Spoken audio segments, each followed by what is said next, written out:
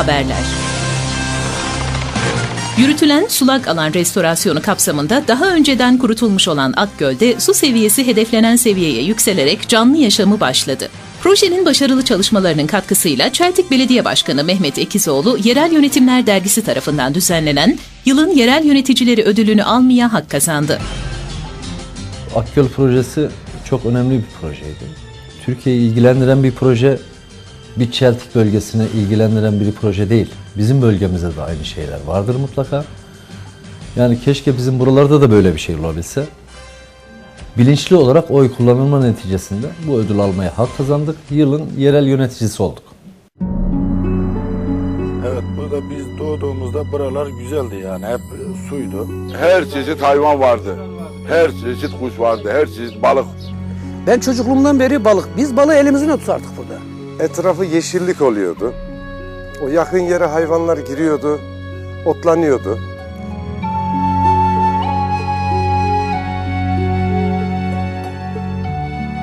Eskide bizim çeşmelerimiz vardı. O çeşmelerin ayağının göle bağlı olduğunu söylerlerdi, gölden geldiğini. Yeşillik yok oldu, sazlıklı göl. Ee, su azaldı. Tabiat bitti. Meyveler yetişirdi bahçelerimizde. Meyve ağaçlarımız kurudu. İklim daha güzeldi, yağış alıyordu. Buradaki sular çekildi, kanallar kapandı.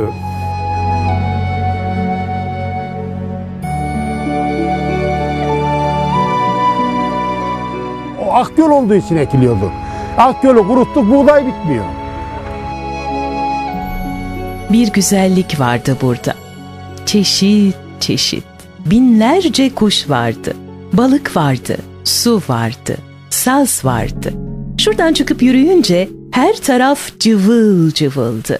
Şimdi ne kuş kaldı ne de balık. Öykünmeleri yerini yavaş yavaş mutluluğa bırakıyor. Akgöl'ün kurtulması ve yüzlerin gülmesi için yüz yıl beklemeye gerek kalmadı.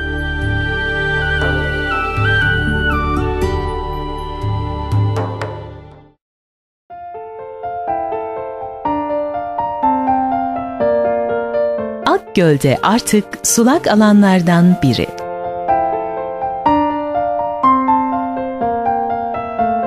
Orman ve Su İşleri Bakanı Sayın Profesör Doktor Veysel Eroğlu'nun konuya gösterdiği duyarlılık ve bu amaçla restorasyon çalışmasına ön ayak olması, bu kapsamda Milli Parklar Genel Müdürlüğü, Devlet Su İşleri Genel Müdürlüğü ve GİZ Alman Uluslararası İşbirliği Kurumu'nun ortaklaşa yürüttüğü sulak alanı yeniden kazanma çalışması başlamış ve nihayetinde daha önce sulak alan fonksiyonlarını kaybetmiş ve tamamıyla kurumuş olan Akgöl, yeniden sulak alan fonksiyonlarını kazanmaya başladı.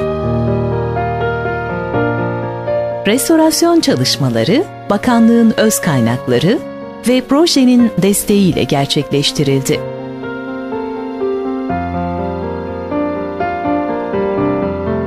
Bu arkamda görmüş olduğunuz alan yaklaşık 2300 hektarlık bir alan. Bundan 1985'li yıllarda çeşitli nedenlerden dolayı kurutulmuş bir alan olmakta. Ee, ve günümüzde artık sulak alan niteliklerini e, büyük ölçüde kaybetmiş bir alan.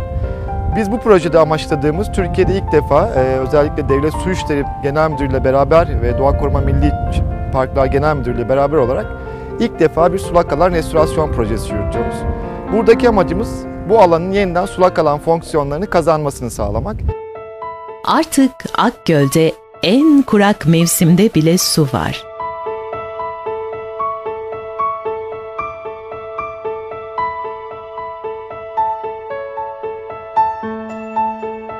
Su yüzeyindeki yapay adalarda ve sazlıklarda yaşayan 30'a yakın kuş türü yeni yuvalarına çoktan uyum sağlamışlar.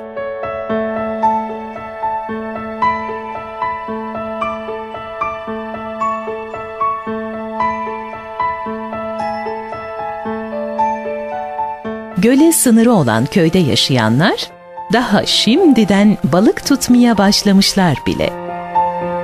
Türkiye sulak alanlarında saz, kamış, hasır otu, kofa gibi bitkiler geniş topluluklar oluştururlar. Ayrıca su yüzeyini kaplayan nilüfer gibi bitkilerin yanı sıra sığ göllerde yetişen ördek otu, ördek mercimeği, su mercimeği gibi su altı bitkilerine de rastlamak mümkün. Yaklaşık 464 kuş türünün kayıtlara geçtiği Türkiye'de sulak alanlar özellikle göçmen türler için hayati öneme sahip. Leylek, flamingo, kaşıkçı, uzun bacak, kılıç gaga, turna ile balıkçılar ve ördekler yaygın olarak görülen türler arasında. Sulak alanlarımızda belirlenen balık türü sayısı ise yaklaşık 480. Bunların 50'si ise tükenme tehlikesiyle karşı karşıya. En yaygın bulunan türlerse alabalık, turna, sazan, karabalık, kefal, kızıl kanat, sudak ve tatlı su levreği. Bu topraklarda doğup büyümüş çocuklar, bir yıl önce yaptıkları gibi hayallerindeki değil, gözlerinin önünde uzanan Akgöl'ün resimlerini çiziyorlar. 30 yıl önce kurutulmuş olan Akgöl sulak alanının restorasyonu adeta bir geri dönüş operasyonu. Bu proje Türkiye açısından oldukça önemli bir örnek teşkil ediyor.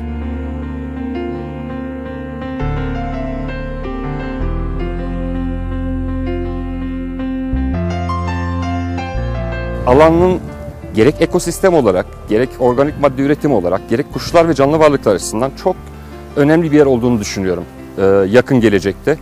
Orta Anadolu'da yok olan bir sürü sulak alandan sonra böyle bir sulak alanın varlığı çok şey katacaktır. Türkiye biyolojik çeşitlilik bakımından Avrupa ve Orta Doğu'nun en zengin ülkelerinden biri. 7 coğrafi bölgenin her birisi ayrı bir iklim, ayrı bir topografik yapı, ayrı bir flora ve fauna çeşitliliğine sahip.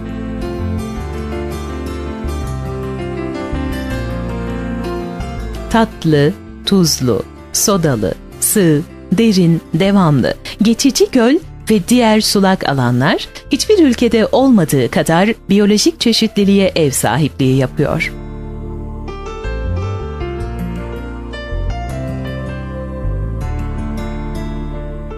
1994 yılında Ramsar Sözleşmesi'ni imzalayarak sulak alanları koruma konusunda ilk önemli adımı atan Türkiye, dünyada sulak alan stratejisi hazırlayan ülkelerin başında geliyor. Türkiye'de toplam büyüklüğü 2 milyon hektarı aşkın 135 adet uluslararası öneme sahip sulak alan mevcut. Bunların 13'ü Ramsar listesi kapsamında Manyas, Burdur, Sultan Sazlığı, Seyfe Gölü, Göksu Deltası, Yumurtalık Lagünü, Kızören Obruğu, Mekke Gölü, Akyatan Lagünü, Ulaabat Gölü, Gediz Deltası, Kızılırmak Deltası, Kuyucuk Gölü. Sulak alanlar yağmur ormanlarından sonra en çok canlı çeşidini barındıran yaşam alanlarıdır. Tropikal ormanlarla birlikte yeryüzünün en fazla biyolojik üretim yapan ekosistemleridir. Yüz binlerce yıllık doğal süreçler sonucu meydana gelmiş ve ortama karakterize olmuş zengin bitki ve hayvan türleriyle yoğun organizma koleksiyonuna sahip yeryüzünün en önemli genetik rezervuarlarıdır. Dünyada var olan canlı çeşidinin yüzde kırkı sulak alanlarda yaşar. Yeraltı sularını besler ve yeniler. Suyu depolayarak ve su hareketlerini yavaşlatarak su taşkınlarına karşı tampon görevi görür. Nem oranını yükselterek başta yağış ve sıcaklık olmak üzere yerel iklim elemanları üzerinde olumlu etki yapar tortu ve zehirli maddeleri alıkoyarak ya da besin maddelerini kullanarak suyu temizler. Yüksek bir ekonomik değere sahiptirler. Balıkçılık, tarım ve hayvancılık, saz üretimi, turizm imkanlarıyla bölge ülke ve dünya ekonomisine önemli katkı sağlarlar. Ee, Burada daha önce kurutulmuştu, tek kanallara binmişti. Oysa değerli belediye başkanımızın ve Çevre Orman Bakanlığımızın katkılarıyla buralara bu gölet setleri yapıldı ve doğal haline gelinmeye çalışıldı ve hala yapılmakta. Burada su olsun, su biriksin de bizim evimizi su almaz. Biz ona razıyız dediler. Yani hepimiz bunu istiyoruz. Balıkların orada olmasını istiyorum. Suya zarar verilmemesini istiyorum. Eski hale dönüşmesini istiyorum Akgöl'ün. Eskisi gibi olmasını istiyorum. Gölün eski güzel hal- haline dönmesini istiyoruz. Burası tekrar canlanacaktır. Akgül inşallah tekrar sulak bir alan olacaktır. balıklar, yeşillik alan yani insanın içini aydınlatacak her şeyin olmasını inikten istiyoruz ve olacağına da inanıyoruz. Bence çok güzel bir proje ve Akgöl yeşillik ve güzel bir yer olmasını istiyorum. Su cennet işte görüyorsunuz buranın canlı kuşları da görüyorsunuz. Kuşlar hep toplandılar. Eskiden buralarda kuş yoktu bak hayvanlar geldi. Hep suyun şeyine. Projemiz bu bölgede henüz 2 yıl olmasına rağmen çok önemli bir şekilde su tutulduğunu gösteriyor. Ve bazı kuş türleri Akgöl'e şu anda geri gelmiş durumda. Dolayısıyla bir 5 yıl, 10 yıl, 20 yıl sonrasını hayal ettiğinizde Akgöl'ün tamamen kurtarılmış, tamamen eski haline dönmüş bir sulak alan olacağını hayal ediyoruz. Sulak alanların önemi geç anlaşıldı.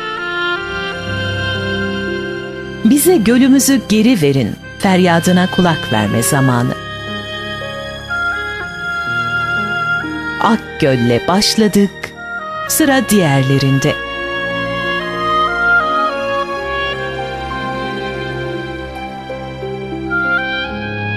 Ülkemizin ve dünyanın geleceği için